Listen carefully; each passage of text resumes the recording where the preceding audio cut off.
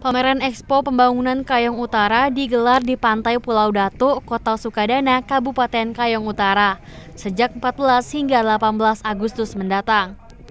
Adanya pameran di lokasi wisata ini semakin menjadi magnet serta daya tarik para pengunjung.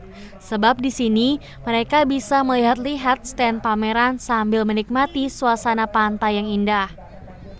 Apalagi, selain terdapat beragam stand pameran, pengunjung semakin dimanjakan dengan hiburan yang disajikan di atas panggung. Maka tak heran, warga dari berbagai kalangan serta usia tak henti memadati pelataran pantai Pulau Dato. Seperti dialami Yanto, satu di antara pengunjung.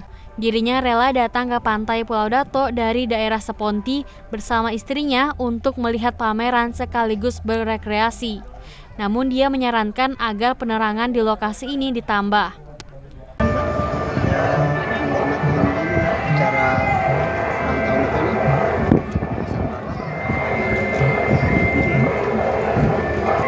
Ya, mudah-mudahan aja ditambah lagi biar ceria. Tambah penerangannya ya Pak ya? Pantai Pulau Dato memang menjadi satu di antara destinasi wisata alam di Kabupaten Kayong Utara.